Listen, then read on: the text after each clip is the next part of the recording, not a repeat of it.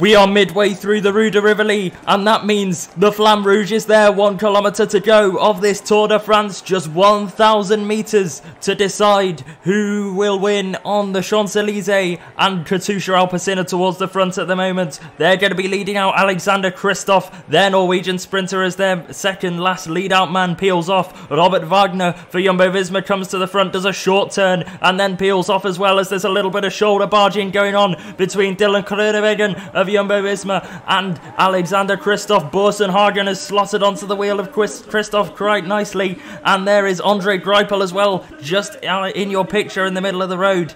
And they turn now onto the Champs-Elysees. Katusha are taking this one up and leading out Groenewegen, but they drop Groenewegen off early, which means he has to go with about 300 metres left. Kristoff is on the wheel of Groenewegen. There's a Bahrain jersey in there as well.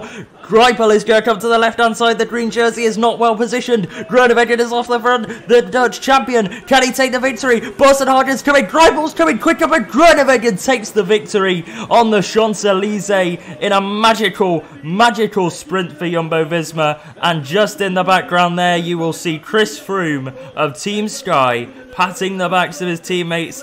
There's him and Kwiatkowski crossing the line and he will win the Tour de France 2017.